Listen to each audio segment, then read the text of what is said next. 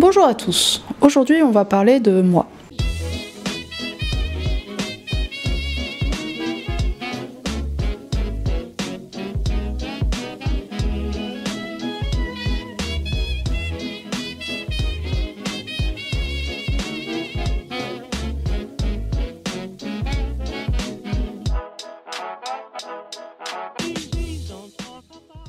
J'ai voulu faire cette vidéo parce que quelqu'un m'a demandé dans les commentaires récemment de lire un extrait d'un de, mes romans.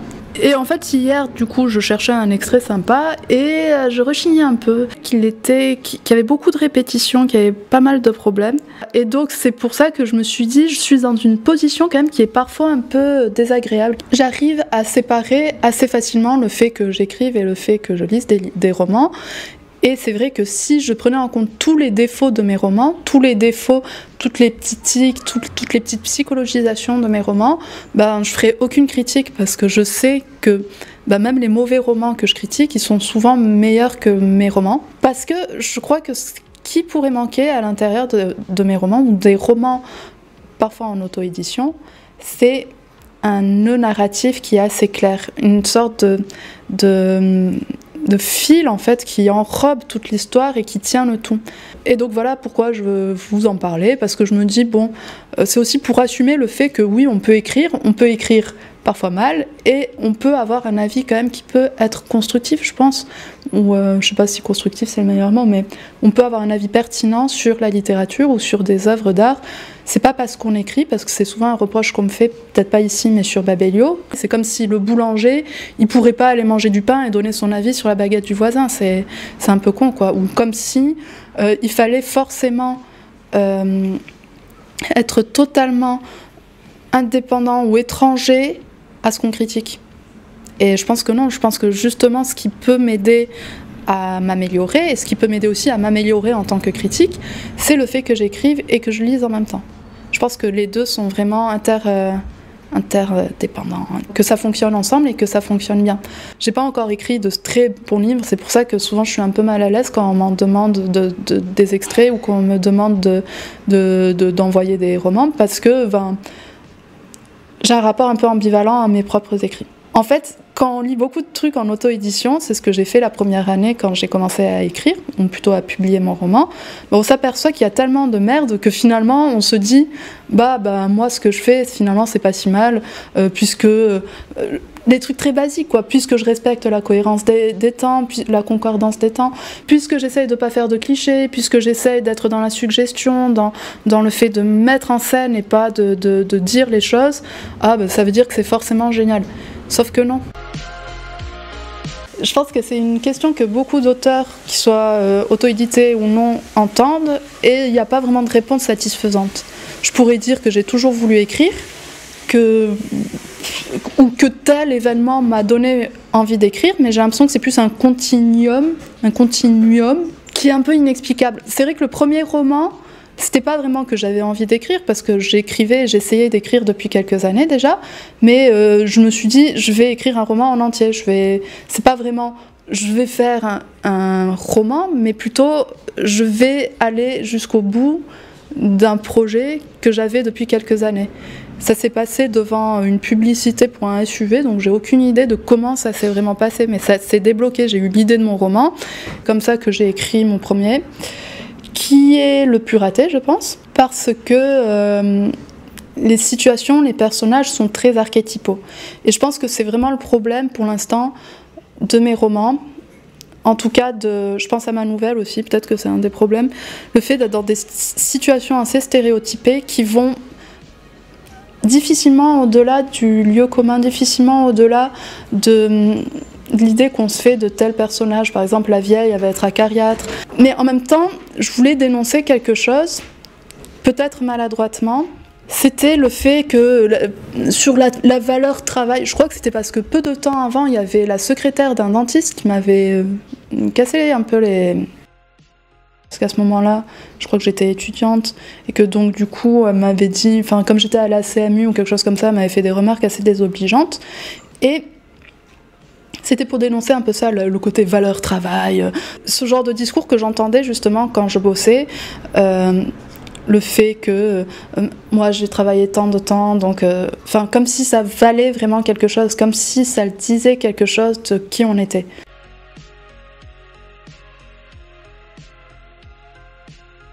Et ce qui est très compliqué, en fait, une fois qu'on a écrit un livre, c'est d'avoir un avis qui soit stable.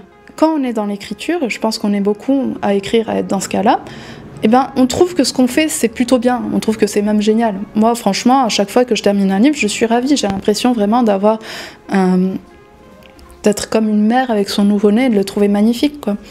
Ce que je disais, c'est la métaphore. C'est on voit ça, on se dit ça, et puis après, quelques années plus tard, sur les photos, on voit que le nouveau-né, il a plein de points blancs sur le nez, qu'il a vachement de poils dans le dos et tout. Et, et voilà. Et donc moi, c'est un peu ça que je ressens par rapport à mon propre roman par rapport à mes romans en général. C'est quelque chose d'inabouti. Et vous allez me demander quelles sont les erreurs à proprement parler de Fièvre de lait. Je dirais que donc c'est ces situations archétypales, mais je pense qu'au niveau du style, il y a quelque chose de trop simple aussi. Que je voulais. Je savais pas encore ce que c'était qu'écrire, je savais pas encore que c'était.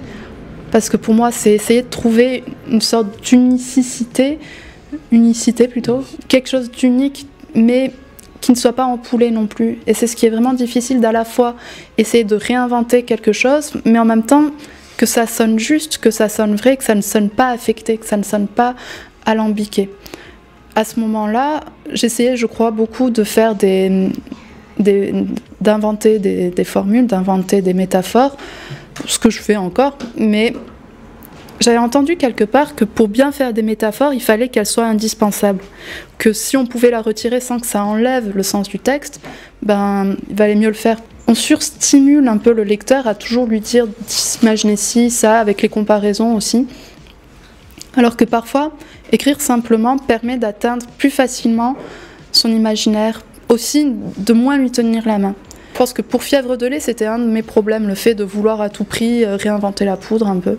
Puis après, au niveau du style, il y avait quand même beaucoup de répétitions, il y avait quand même des phrases qui étaient maladroites. Enfin, c'était un premier roman et j'en suis pas spécialement super fière, mais je suis contente quand même d'être allée euh, jusqu'au bout. Je me dis quand même que parfois, quand on est devant un chef-d'œuvre, on voit pas, ça va être vachement, ça va être vachement euh, orgueilleux, mais bon, quand on est devant un chef-d'œuvre, on voit pas toutes les tentatives qui ont mené à ce chef-d'œuvre, et je me dis que peut-être dans quelques années, quand j'aurai enfin écrit le roman que j'imagine tel que je l'imagine, ben peut-être que ça pourra être rassurant pour des gens qui essayent d'écrire, de lire les merdes que j'ai écrites avant, et de se dire, bah, bah, si elle a écrit, si elle est passée de là à là, ben ça veut dire qu'on peut tous s'améliorer, qu'on peut tous trouver son style. Et donc là, en disant ça, bien sûr, j'imagine, que c'est le, roman que je suis en train d'écrire dont je parle, que ça va être celui-là, le, roman. Mais par contre, ça vient pas tout seul. C'est un travail. C'est pour ça que, euh, malgré mes études littéraires, en fait, pendant très longtemps, j'ai pas beaucoup lu. J'avais, je venais d'avoir mes enfants. C'était pas vraiment à ce moment-là le, le passe-temps, mon passe-temps favori. Je tricotais, je faisais des trucs de maman un peu. Et donc pendant euh, je sais pas combien d'années, de la fac, en plus mes années universitaires littéraires m'ont un peu dégoûtée parce que euh, je, les, je, les, ai faites comme je travaillais en même temps à distance. Et quand on les fait à distance, on ne peut pas choisir euh, les matières qu'on veut. Enfin, on, a tous les mêmes, les mêmes matières, mais je ne pouvais pas choisir exactement l'UE. Par exemple, en littérature comparée, j'étais obligée de tout le temps, chaque année, c'était le romantisme allemand. Et moi, le romantisme allemand, ça me gonflait. Donc, lire des livres et les étudier quand on les apprécie pas, ça aide. Peut-être que ça m'a aidé justement à mieux les analyser aujourd'hui, mais ça donne pas envie. Du coup, j'étais vraiment dégoûtée. Et puis c'est vrai qu'on en avait beaucoup à lire chaque. Bon, maintenant c'est du pipi de chat quand je pense à tous les livres que je lis, mais en chaque début d'année, on avait une quinzaine, vingtaine, sans parler des livres théoriques. Mais donc, en tout cas, ça se fait pas tout seul. Il faut lire. Je pense que c'est le seul conseil qui est vraiment pertinent que je peux donner.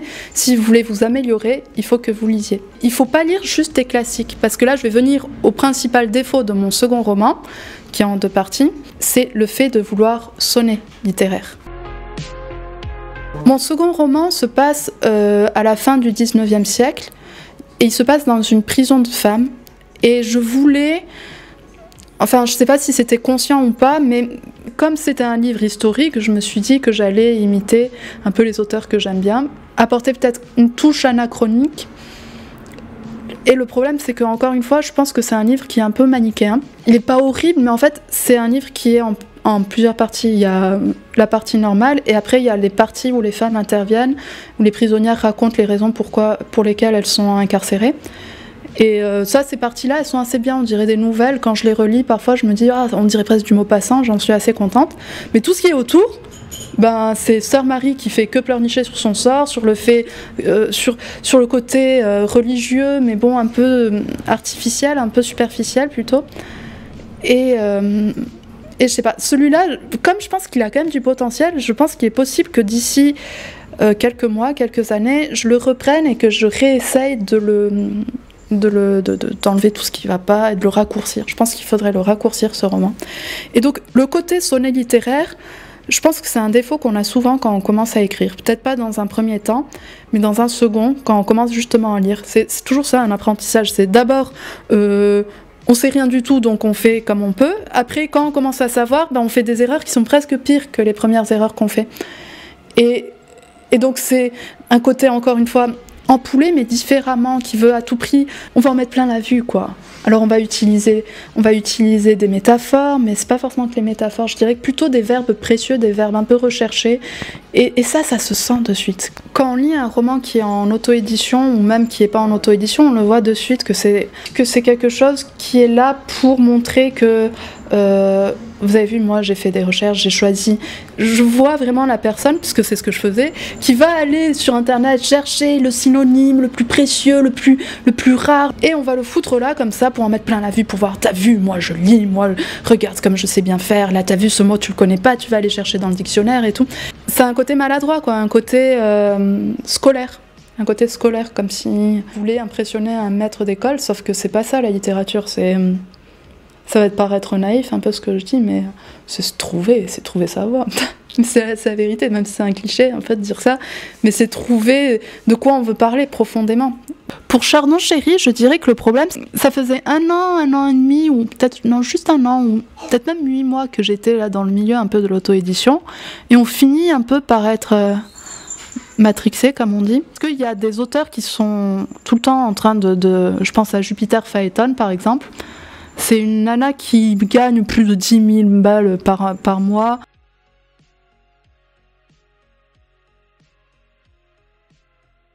Elle écrit un livre par mois et c'est tout le temps dans des trucs de genre, par exemple fantastique, fantasy, mais euh, très stéréotypé, loup-garou et compagnie quand on commence, blablabla, les réseaux sociaux et tout ça, ben on voit ce genre de truc et forcément on compare et on se dit pourquoi elle, elle y arrive et pas moi alors que ce qu'elle fait c'est vachement de la merde et que moi bon c'est un peu de la merde mais peut-être pas à ce point-là. En gros. Et donc on se dit ça et on se dit pourquoi pas essayer de d'écrire un roman sous un faux nom? Parce que elle, je crois pas que ce soit son vrai prénom, et comme ça, j'en ai rien à foutre, je vais faire une romance à la con, avec tous les clichés et tout. Et donc c'est comme ça que j'ai commencé à écrire ce roman. Et puis après, bah, assez vite, ça m'a fait marrer en fait, parce que j'ai subverti un peu le truc de la, romance, quoi, avec des trucs dégueulasses et tout. Enfin, je me suis bien amusée. Et plus le livre commençait à prendre forme, et plus j'avais l'impression qu'il m'animait. Et donc je l'ai écrit en un mois, ce livre. C'est peut-être pas le meilleur, mais je pense que déjà il est plus juste que les deux premiers. Son défaut, bah, peut-être, c'est de l'avoir écrit aussi rapidement, parce que du coup, le style est assez, simple, encore une fois. D'un côté, il m'a permis de voir finalement qu'en écrivant très rapidement, comme ça, on va droit au but, comme si on enlevait un peu la, substance. La substance. Ouais, bon, comme si on. Comme si on allait droit à l'essentiel, comme si on enlevait tout ce qui était en trop, tous ces petits empoulages, tous ces petits alambicages qu'on mettait pour en mettre plein la vue. Et je pense qu'il m'a aidé quand même à trouver quelque chose, à trouver je sais pas, je vais pas parler à ce moment-là de style, mais une sorte d'honnêteté, une sorte de, vérité, de, parler vrai un peu. Et c'est là, par exemple, que mes, dialogues se sont améliorés. Parce que, bon, mes romans ont beaucoup de défauts, mais je pense que pour les dialogues, je suis pas, c'est pas horrible. Quand je lis mes romans et que je compare avec tout ce que j'ai lu, c'est pas que c'est horriblement mauvais. Il y a des passages qui sont horriblement mauvais, mais en fait, c'est juste que ce que j'ai mis tant de temps, pas forcément pour celui-là, mais ce que j'ai mis beaucoup de temps à travailler, à s'isoler, à... Bah, je m'aperçois que c'est ces passages, ça ressemble un peu à ces passages de, remplissage que je dirais dans des autres textes. C'est en fait ce, sur quoi je suis, bah, finalement ça rend quelque chose d'un peu banal, d'un peu passe-partout. Par exemple, quand je lis Nicolas Mathieu, c'est l'impression que je me fais, je me dis, par rapport à ce roman là que j'ai écrit, La Chardon Chérie, je me dis, bon, c'est à peu près le même style. Et c'est vrai que le style de Nicolas Mathieu, je le trouve pas excellent. Mais après, je le préfère par exemple à celui de, de la cour, qui est justement ridicule mais c'est juste que moi, je veux pas juste être dans le milieu. Enfin, je pense qu'on est beaucoup à ça, à juste se dire ah mais si ça, ça a été édité, eh ben ça veut dire que moi je peux être édité. Ou ah si ça, ça se vend vachement en auto-édition, ça veut dire que moi je peux vachement vendre. Non, en fait, c'est parce que quand je lis des, romans qui sont géniaux, qui sont excellents, avec des styles qui sont vraiment euh, le Philippe Ross, là récemment c'était Bégodeau par exemple, ou euh, Genada que j'adore par exemple, ben je me dis putain c'est pas suffisant, c'est pas suffisant. C'est pas parce que c'est assez bien, médiocre même je dirais, que c'est. Est-ce que ça vaut le coup vraiment d'écrire un roman si c'est pas pour l'écrire, pour pas en faire un, roman parfait? J'en suis à ce niveau-là à peu près. C'est bien de se noter tous les petits tics qu'on a, euh, les puis, les mais, les presque, les un peu. Ensuite, c'est de toujours se demander si un adjectif ou un adverbe est véritablement important ou si on peut l'enlever. En fait, je pense que ce qui est vraiment sympa quand on écrit, c'est ce double mouvement, ce mouvement de j'écris, je, je, balance tout. Après, la réécriture, c'est je me vois avec une faucille un peu, signifiant, en train de retirer tout ce qui va pas, tout ce qui va pas. Il y a tellement de trucs qui va pas et c'est comme si on enlevait toutes les couches de vêtements, les, tous les pulls ou je sais pas. Enfin, c'est vraiment de, de l'élagage, de l'élagage, de l'élagage. Et je trouve que cette période, j'aime encore plus finalement. Essayer d'arriver à la forme la plus pure. Oui, toujours quand on se relit et qu'on voit qu'il y a un passage qui ne va pas, c'est se demander comment on peut faire jouer justement le jeu d'échelle dont je parlais. Par exemple, quand on est trop dans la gestuelle, que les personnages sont trop dans la gestuelle, elle boit un verre d'eau, elle s'assied, elle est en train de regarder par la fenêtre. Toujours se demander bah, pourquoi, puisque je ne sais pas trop comment faire pour sortir de ce côté très scénographique, pourquoi ne pas reculer un peu, dézoomer de notre personnage et et dire plutôt euh, parler de la pièce, parler des pensées du personnage, parler d'un autre personnage, parler de, de, de, de, la nature euh, alentour, de, de, la, de, enfin voilà quoi, le décor, les pensées, essayer de, de, voilà, de dézoomer pour rezoomer et puis virer un peu tout ce qui est trop euh, didascalique. Est-ce que l'auto-édition ça a été une erreur? Bah déjà c'était, j'avais pas vraiment le choix si je voulais me faire lire. Après je pense que le problème de l'auto-édition, j'en ai déjà parlé, c'est le fait que seuls les textes qui sont très codifiés, qui sont très euh, genrés finalement, que ce soit le polar, la fantasy, la romance, seuls ceux-là permettent vraiment de vivre, je pense, de sa plume.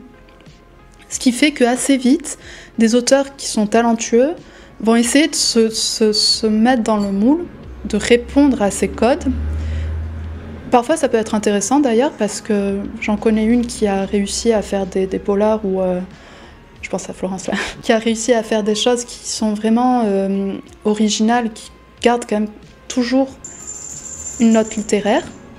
Mais ben, beaucoup finalement oublient, je pense, ce pourquoi ils ont commencé à écrire.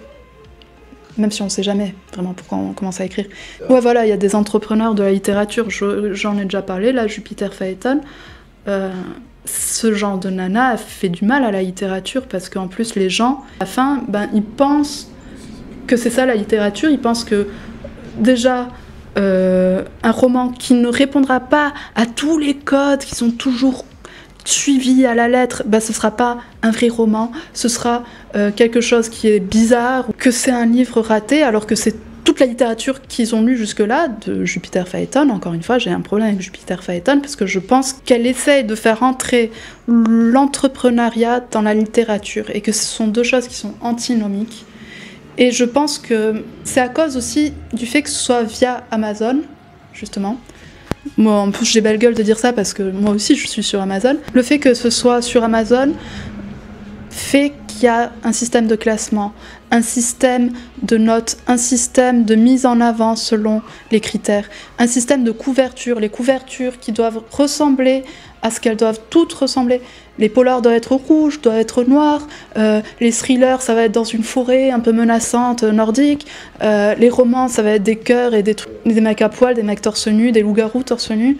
Et, ça pourrit finalement le goût et l'esprit critique des gens qui ne savent plus qu'est-ce qu'un bon livre. Est-ce qu'un bon livre, c'est un livre qui doit être forcément divertissant?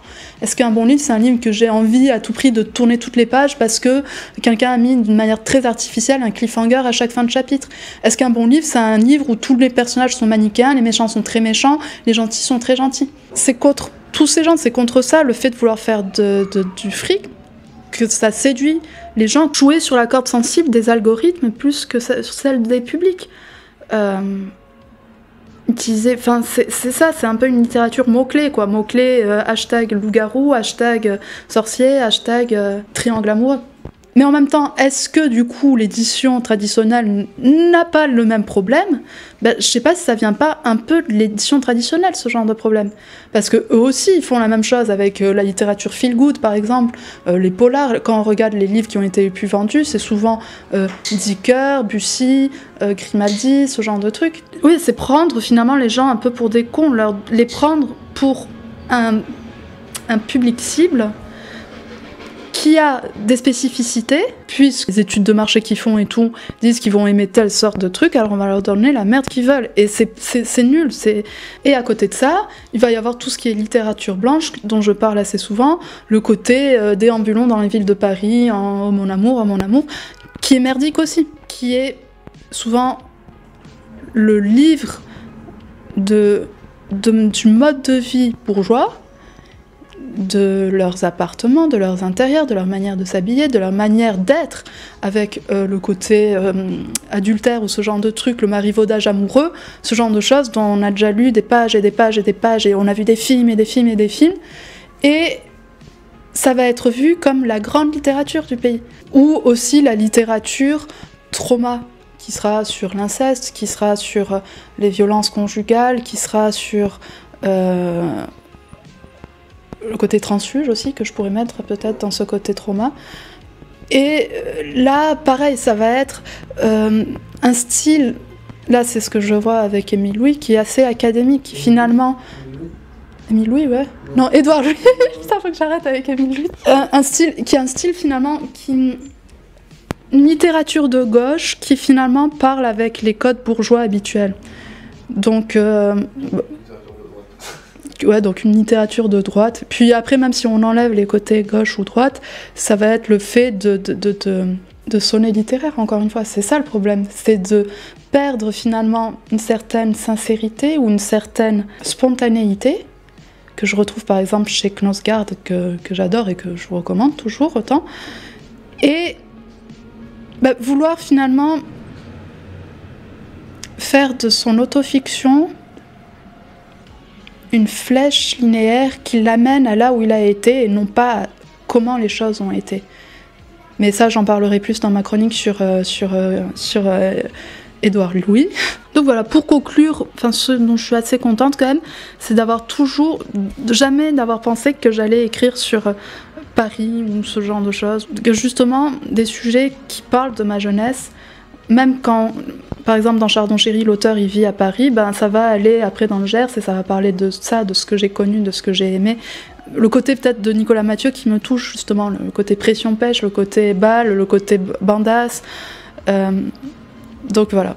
Et après, bah, à côté de ça, bah, j'espère que j'arriverai encore à trouver cette spontanéité, cette sincérité dans l'écriture, même quand on raconte des mensonges, même quand on raconte euh, ben, de la fiction finalement, mais la raconter d'une manière vraie, d'une manière tangible, d'une manière réaliste, d'une manière personnelle. Toujours essayer de, parvenir à décrire le goût de la 8-6, de la, de, de, de, la plante, qu'est-ce que c'est comme plante, ça va être un chêne, et donc le chêne il est comment, l'écorce du chêne comment il est, le gland comment il est. Ça, je crois que c'est en lisant que j'ai appris.